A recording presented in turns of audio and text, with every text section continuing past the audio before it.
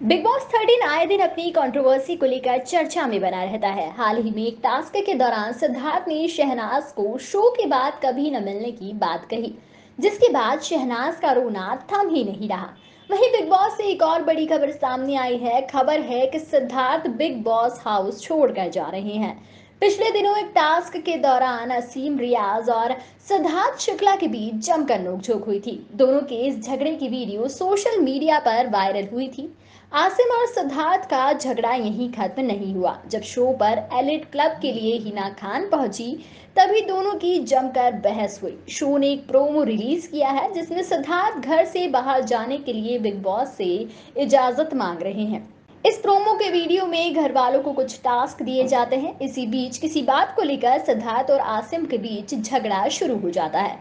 झगड़ा इतना बढ़ गया कि बिग बॉस सिद्धार्थ को कन्फेशन रूम में बुलाकर कुछ सवाल करते हैं, जहाँ पर सिद्धार्थ शुक्ला बिग बॉस से घर से बाहर जाने की इजाज़त मांग रहे हैं। सिद्धार्थ के इस वीडियो को देखकर फैंस काफ़ी हैरान हैं कि सिद्धार्थ घर से बाहर जाने की बातें क्यों कर रहे हैं। अब सिद्धार्थ की इस बात पर बिग बॉस क्या रिएक्शन देते हैं, ये तो आने वाले एपिसोड में ही पता पड़ेगा। Subscribe our channel and press the bell icon for more updates.